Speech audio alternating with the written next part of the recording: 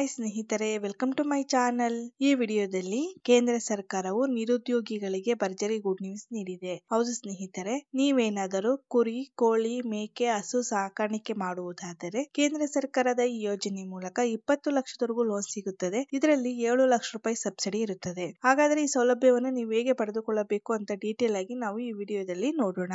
ಇನ್ನು ಇದರ ಜೊತೆಗೆ ರಾಜ್ಯ ಸರ್ಕಾರವು ಎಲ್ಲಾ ಅರವತ್ತು ವರ್ಷ ಮೇಲ್ಪಟ್ಟವರಿಗೆ ರಾಜ್ಯ ಸರ್ಕಾರದ ಈ ಯೋಜನೆ ಮೂಲಕ ಪ್ರತಿ ತಿಂಗಳು ಸರ್ಕಾರದ ವತಿಯಿಂದ ಪೆನ್ಷನ್ ದುಡ್ಡು ಬರ್ತದೆ. ಹಾಗಾದ್ರೆ ಯೋಜನೆಗೆ ನೀವು ಹೇಗೆ ಅಪ್ಲೈ ಮಾಡ್ಕೊಳ್ಬೇಕು ಅಂತ ಡೀಟೇಲ್ ಆಗಿ ವಿಡಿಯೋದಲ್ಲಿ ನೋಡೋಣ. ಇನ್ನು ಇದರ ಜೊತೆಗೆ ಕೇಂದ್ರ ಸರ್ಕಾರವು ಸ್ವಂತ ಮನೆ ಇಲ್ಲದವರಿಗೆ ಭರ್ಜರಿ ಗುಡ್ ನ್ಯೂಸ್ ನೀಡಿದೆ. ಹೌದು ಸ್ನೇಹಿತರೆ, ಬಡವರಿಗೆ ಹೊಸದಾಗಿ ಸ್ವಂತ ಮನೆ ಕಟ್ಟಿಕೊಳ್ಳುವುದಕ್ಕಾಗಿ ಸರ್ಕಾರದ ಯೋಜನೆ ಮೂಲಕ ಎರಡು ಲಕ್ಷದ ಅರವತ್ತೇಳು ಸಾವಿರ ರೂಪಾಯಿ ಸಬ್ಸಿಡಿ ಸಿಗುತ್ತದೆ. ಹಾಗಾದ್ರೆ ಈ ಸೌಲಭ್ಯವನ್ನು ನೀವು ಹೇಗೆ ಪಡೆದುಕೊಳ್ಳಬೇಕು ಅಂತ ವಿಡಿಯೋದಲ್ಲಿ ನೋಡೋಣ. ಅದಕ್ಕೂ ಮುಂಚಿತವಾಗಿ ನೀವು ಇನ್ನೂ ನಮ್ಮ ಚಾನೆಲ್ಗೆ ಸಬ್ಸ್ಕ್ರೈಬ್ ಆಗಿಲ್ಲವೆಂದರೆ ಈಗಲೇ ಸಬ್ಸ್ಕ್ರೈಬ್ ಆಗ್ಬೋದಲ್ವಾ? ನೀವಿನ್ನೂ ವಿಡಿಯೋಗೆ ಲೈಕ್ ಮಾಡಿಲ್ಲವೆಂದರೆ ಈಗಲೇ ಲೈಕ್ ಮಾಡಿ ಮತ್ತು ವಿಡಿಯೋನ ಸ್ಕಿಪ್ ಮಾಡದೆ ಕೊನೆ ತನಕ ನೋಡಿ. ಗ್ರಾಮೀಣ ಪ್ರದೇಶವಾಗಿರಲಿ ಅಥವಾ ನಗರ ಪ್ರದೇಶವಾಗಿರಲಿ, ಯಾವುದೇ ಯುವಕ, ಯುವತಿ ತಮ್ಮ ಸ್ವಂತ ಉದ್ಯಮ ಮಾಡಬೇಕೆಂದು ಬಯಸಿದರೆ ಅವರ ಕನಸಿಗೆ ಸರ್ಕಾರ ಕೈಜೋಡಿಸುತ್ತದೆ. ಬೇರೆ ಬೇರೆ ರೀತಿಯ ಯೋಜನೆಗಳ ಮೂಲಕ ಸಾಲ ಹಾಗೂ ಸಬ್ಸಿಡಿ ಒದಗಿಸುತ್ತದೆ. ಹೌದು, ಇಂದು ಸಾಕಷ್ಟು ವಿಭಿನ್ನವಾಗಿ ಜನ ಯೋಚಿಸುತ್ತಾರೆ. ಸ್ವಂತ ಉದ್ಯಮ ಮಾಡುವುದಕ್ಕೆ ಸಾಕಷ್ಟು ಐಡಿಯಾಗಳನ್ನು ಹೊಂದಿರುತ್ತಾರೆ. ಇದಕ್ಕೆ ಪೂರಕವಾಗಿ ಸರ್ಕಾರವು ಕೂಡ ಸಬ್ಸಿಡಿ, ಸಾಲ ನೀಡಿ ಇಂಥವರನ್ನ ಪ್ರೋತ್ಸಾಹಿಸುತ್ತದೆ.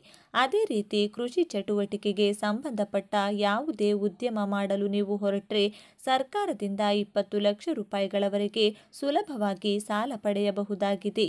ಗ್ರಾಮೀಣ ಪ್ರದೇಶದಲ್ಲಿ ವಾಸಿಸುವ ರೈತರಿಗೆ ಕೇವಲ ವಾರ್ಷಿಕ ಬೆಳೆಯನ್ನು ಮಾತ್ರ ನಂಬಿಕೊಂಡಿದ್ರೆ ಜೀವನ ನಡೆಯುವುದೇ ಕಷ್ಟ. ಹಾಗಾಗಿ ಉಪಕಸುಬು ಮಾಡಿ ಹೆಚ್ಚಿನ ಹಣ ಸಂಪಾದಿಸಬಹುದು. ಹೈನುಗಾರಿಕೆ, ಮೀನುಗಾರಿಕೆ, ಜೇನು ಸಾಕಾಣಿಕೆ, ಕುರಿ, ಆಡು, ಕೋಳಿ ಸಾಕಾಣಿಕೆ ಈ ಮೊದಲಾದ ಉಪಕಸುಬುಗಳಿಗೆ ಅಥವಾ ಕೃಷಿ ಚಟುವಟಿಕೆಗಳಿಗೆ ಸರ್ಕಾರದಿಂದ ಸಾಲ ಸೌಲಭ್ಯ ನೀಡಲಾಗುವುದು.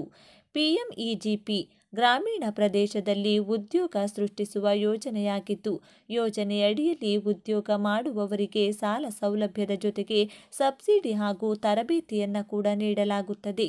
ಸರ್ಕಾರದ ಜೊತೆಗೆ ಸರ್ಕಾರೇತರ ಕಂಪನಿಗಳು ಕೂಡ ಕೈಜೋಡಿಸಿವೆ. ಧಾರವಾಡದಲ್ಲಿ ಸಮಗ್ರ ಕೃಷಿ ತರಬೇತಿ ಕೇಂದ್ರ ಮತ್ತು ಕುರಿ ಸಾಕಾಣಿಕೆ ತರಬೇತಿ ಕೇಂದ್ರ ಆರಂಭಿಸಲಾಗಿದ್ದು, ಇದಕ್ಕೆ ಸರ್ಕಾರದ ಬೆಂಬಲ ಇದೆ. ಜೊತೆಗೆ ಸರ್ಕಾರದ ಯಾವುದೇ ಹೊಸ ಯೋಜನೆಗಳ ಬಗ್ಗೆ ಇಲ್ಲಿ ಮಾಹಿತಿ ಪಡೆದುಕೊಳ್ಳಬಹುದು. ಪಿಎಂಇಜಿಪಿ ಯೋಜನೆಯಡಿ ಸಾಲ ಈ ಯೋಜನೆಯ ಅಡಿಯಲ್ಲಿ ಯುವಕರು ಹದಿನೈದರಿಂದ ಇಪ್ಪತ್ತೈದು ಲಕ್ಷ ರೂಪಾಯಿಗಳವರೆಗೆ ಸಾಲ ಸೌಲಭ್ಯ ಪಡೆಯಬಹುದು ಹಾಗೂ ಎರಡು ಲಕ್ಷಗಳ ಸಬ್ಸಿಡಿ ನೀಡಲಾಗುವುದು. ಕುರಿ, ಆಡು, ಮೇಕೆ, ಕೋಳಿ ಮೊದಲಾದವುಗಳ ಸಾಕಾಣಿಕೆಗೆ ಘಟಕ ವೆಚ್ಚ ಐದು ಪರ್ಸೆಂಟ್ನಿಂದ ಹತ್ತು ಪರ್ಸೆಂಟ್ವರೆಗೆ ರೈತರು ಪಾವತಿಸಿದರೆ ಉಳಿದ ತೊಂಬತ್ತು ಪರ್ಸೆಂಟ್ನಿಂದ ತೊಂಬತ್ತೈದು ಪರ್ಸೆಂಟ್ನಷ್ಟು ಘಟಕ ವೆಚ್ಚವನ್ನು ಸಾಲದಿಂದ ಪೂರೈಕೆ ಮಾಡಬಹುದು. ಧಾರವಾಡದಲ್ಲಿ ತರಬೇತಿ ಕೇಂದ್ರದ ಜೊತೆಗೆ ತಾವೇ ಸ್ವತಃ ಎರಡು ಸಾವಿರಕ್ಕೂ ಹೆಚ್ಚಿನ ವಿವಿಧ ತಳಿಯ ಆಡು, ಕುರಿ, ಮೇಕೆ ಮೊದಲಾದವುಗಳನ್ನು ಸಾಕಾಣಿಕೆ ಮಾಡಿ ಕೈತುಂಬ ಹಣ ಸಂಪಾದಿಸುತ್ತಿರುವ ಸಚಿನ್ ಎನ್ನುವ ವ್ಯಕ್ತಿ ತಮ್ಮದೇ ಆಗಿರುವ ತರಬೇತಿ ಕೇಂದ್ರವನ್ನು ಧಾರವಾಡದಲ್ಲಿ ಹೊಂದಿದ್ದಾರೆ. ನೀವು ಇಲ್ಲಿ ಯೋಜನೆಯ ಬಗ್ಗೆ ಹೆಚ್ಚಿನ ಮಾಹಿತಿ ಪಡೆದುಕೊಳ್ಳಲು ಹಾಗೂ ತರಬೇತಿ ಪಡೆದುಕೊಳ್ಳಲು ಇವರನ್ನು ಸಂಪರ್ಕಿಸಬಹುದು. ಸಂಪರ್ಕಿಸಲು ಆರು ಮೂರು ಆರು ಮೂರು ಐದು ಆರು ಐದು, ಒಂದು ಸೊನ್ನೆ ಸೊನ್ನೆ ಈ ನಂಬರ್ಗೆ ಕರೆ ಮಾಡಿ. ಧನ್ಯವಾದಗಳು. ರಾಜ್ಯ ಸರ್ಕಾರ ರಾಜ್ಯದಲ್ಲಿ ವಾಸಿಸುವ ಹಿರಿಯ ನಾಗರಿಕರಿಗೆ ಅನುಕೂಲವಾಗುವಂಥ ಆರ್ಥಿಕವಾಗಿ ಸಹಾಯಕವಾಗುವಂಥ ಕೆಲವು ಯೋಜನೆಗಳನ್ನು ಜಾರಿಗೆ ತಂದಿದೆ. ಅವುಗಳಲ್ಲಿ ಮಾಸಿಕ ಪಿಂಚಣಿ ನೀಡುವ ಯೋಜನೆ ಕೂಡ ಒಂದು. ಕಡಿಮೆ ಹೂಡಿಕೆ ಮಾಡಿದರೂ ಹೆಚ್ಚಿನ ಲಾಭ ಪಡೆಯುವಂತಹ ಪಿಂಚಣಿಯ ಯೋಜನೆಯ ಪ್ರಯೋಜನವನ್ನು ಹಿರಿಯ ನಾಗರಿಕರಿಗೆ ನೀಡಲಾಗುತ್ತಿದೆ. ಈಗ ಪಿಂಚಣಿ ಪಡೆದುಕೊಳ್ಳಲು ಅರವತ್ತು ವರ್ಷ ಮೇಲ್ಪಟ್ಟ ಹಿರಿಯ ನಾಗರಿಕರು ಈ ಪ್ರಮುಖ ಕೆಲಸ ಮಾಡುವುದು ಕಡ್ಡಾಯವಾಗಿದೆ.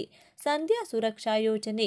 ಹಿರಿಯ ನಾಗರಿಕರ ಭದ್ರತೆ ಮತ್ತು ಆರೈಕೆಗಾಗಿ ಸಂಧ್ಯಾ ಸುರಕ್ಷಾ ಯೋಜನೆಯನ್ನ ರಾಜ್ಯ ಸರ್ಕಾರ ಪರಿಚಯಿಸಿದೆ. ಹಿರಿಯ ನಾಗರಿಕರು ತಮ್ಮ ವೃದ್ಧಾಪ್ಯದ ಸಮಯದಲ್ಲಿ ಅಥವಾ ನಿವೃತ್ತಿಯ ನಂತರ ಸಾಮಾಜಿಕವಾಗಿ, ಆರ್ಥಿಕವಾಗಿ ಹಾಗೂ ಆರೋಗ್ಯದ ದೃಷ್ಟಿಯಿಂದ ಸಮಸ್ಯೆ ಅನುಭವಿಸಬಾರದು ಎಂಬ ಉದ್ದೇಶದಿಂದ ಸರ್ಕಾರ ಇರುವುದಿಲ್ಲ ಜಾರಿಗೆ ತಂದಿದೆ. ಈ ಯೋಜನೆಯ ಪ್ರಯೋಜನ ಯಾರು ಪಡೆದುಕೊಳ್ಳಬಹುದು? ಕರ್ನಾಟಕ ರಾಜ್ಯದ ಶಾಶ್ವತ ನಿವಾಸಿಯಾಗಿರಬೇಕು. ಅರವತ್ತೈದು ಅಥವಾ ಅರವತ್ತೈದು ವರ್ಷ ಮೇಲ್ಪಟ್ಟ ವಯಸ್ಸಿನವರು ಅರ್ಜಿದಾರರಾಗಿರಬೇಕು. ಸ್ಥಳೀಯ ಕಂದಾಯ ಇಲಾಖೆಯ ಪ್ರಾಮಾಣೀಕರಣಕ್ಕೆ ಒಳಪಟ್ಟ ಹಾಗೆ ಪಿಂಚಣಿದಾರ ಅಥವಾ ಆತನ ಪತ್ನಿ ವಾರ್ಷಿಕ ಆದಾಯ ಮೂವತ್ತೆರಡು ಸಾವಿರ ಮೀರುವಂತಿಲ್ಲ. ಮಕ್ಕಳ ಆದಾಯವನ್ನು ಪಾಲಕರ ಪಿಂಚಣಿ ಯೋಜನೆಯ ಒಳಗೆ ಸೇರಿಸಲಾಗುವುದಿಲ್ಲ. ಪಿಂಚಣಿದಾರ ಹಾಗೂ ಆತನ ಸಂಗಾತಿಯ ಜಂಟಿ ಬ್ಯಾಂಕ್ ಖಾತೆಯಲ್ಲಿ ಹತ್ತು ಸಾವಿರಗಳಿಗಿಂತ ಹೆಚ್ಚಿನ ಠೇವಣಿ ಇಡುವಂತಿಲ್ಲ.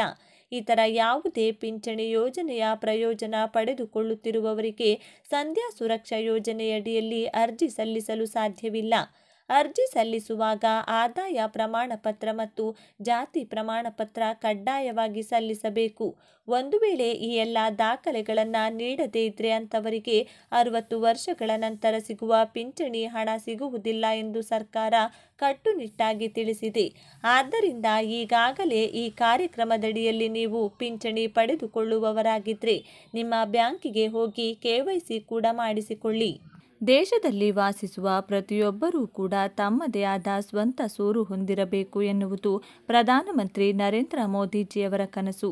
ಇದೇ ಕಾರಣಕ್ಕೆ ಎರಡು ಸಾವಿರದ ಹದಿನೈದರಲ್ಲಿ ಪ್ರಧಾನಮಂತ್ರಿ ಆವಾಸ್ ಯೋಜನೆಯನ್ನು ಜಾರಿಗೆ ತರಲಾಗಿದೆ.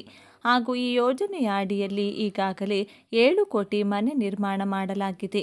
ಫೆಬ್ರವರಿ ಒಂದು, ಎರಡು ಸಾವಿರದ ಇಪ್ಪತ್ನಾಲ್ಕು ಮಧ್ಯಂತರ ಬಜೆಟ್ ಅನ್ನು ಘೋಷಿಸಿರುವ ಕೇಂದ್ರ ವಿತ್ತ ಸಚಿವೆ ನಿರ್ಮಲಾ ಸೀತಾರಾಮನ್ ಅವರು ಪ್ರಧಾನಮಂತ್ರಿ ಆವಾಸ್ ಯೋಜನೆಯ ಬಗ್ಗೆ ಮಾತನಾಡಿದರು.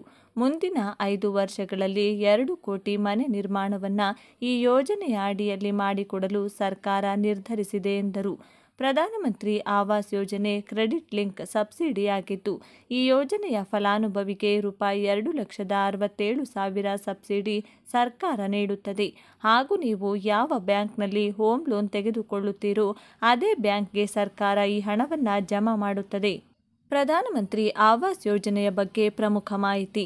ನೀವು ಪ್ರಧಾನಮಂತ್ರಿ ಆವಾಸ್ ಯೋಜನೆಯಡಿಯಲ್ಲಿ ಎರಡು ಪಾಯಿಂಟ್ ಆರು ಏಳು ಲಕ್ಷ ರೂಪಾಯಿಗಳನ್ನು ಸಬ್ಸಿಡಿಗಾಗಿ ಪಡೆಯಬೇಕು ಎಂದಾದರೆ ಯಾವಾಗ ಗೃಹ ಸಾಲವನ್ನು ಪಡೆದುಕೊಳ್ಳುತ್ತೀರೋ ಅದೇ ಸಮಯದಲ್ಲಿ ಈ ಯೋಜನೆಗೆ ಅಪ್ಲೈ ಮಾಡಿರಬೇಕು. ಹೋಮ್ ಲೋನ್ ಪಡೆದುಕೊಂಡ ಒಂದೆರಡು ವರ್ಷಗಳ ನಂತರ ಪ್ರಧಾನಮಂತ್ರಿ ಆವಾಸ್ ಯೋಜನೆಗೆ ಅರ್ಜಿ ಸಲ್ಲಿಸಲು ಸಾಧ್ಯವಿಲ್ಲ. ಬ್ಯಾಂಕ್ನಲ್ಲಿ ಹೋಮ್ ಲೋನ್ ಮರುಪಾವತಿ ಮಾಡುವ ಅವಧಿ ಇಪ್ಪತ್ತು ವರ್ಷಗಳು. ಇದು ನೀವು ಯಾವ ವಯಸ್ಸಿನಲ್ಲಿ ಹೋಮ್ ಲೋನ್ ತೆಗೆದುಕೊಳ್ಳುತ್ತೀರಿ ಎನ್ನುವುದರ ಆಧಾರದ ಮೇಲೆ ನಿರ್ಧರಿಸಲಾಗುತ್ತದೆ. ಇನ್ನು ಯಾವ ಯಾವ ರೀತಿ ಸರ್ಕಾರದಿಂದ ಸಬ್ಸಿಡಿ ಪಡೆಯಬಹುದು ಎಂದು ನೋಡುವುದಾದರೆ, ಬ್ಯಾಂಕ್ ನಿಮಗೆ ಹತ್ತು ಪರ್ಸೆಂಟ್ ಬಡ್ಡಿ ದರದಲ್ಲಿ ಹೋಮ್ ಲೋನ್ ಮಂಜೂರು ಮಾಡಿದೆ ಎಂದು ಭಾವಿಸಿ. ಆಗ ಪ್ರಧಾನಮಂತ್ರಿ ಆವಾಸ್ ಯೋಜನೆಯ ಪ್ರಯೋಜನ ದೊರೆತರೆ ಇಎಂಐ ಪಾವತಿ ಮಾಡುವ ಮೊತ್ತ ಕಡಿಮೆಯಾಗುತ್ತದೆ.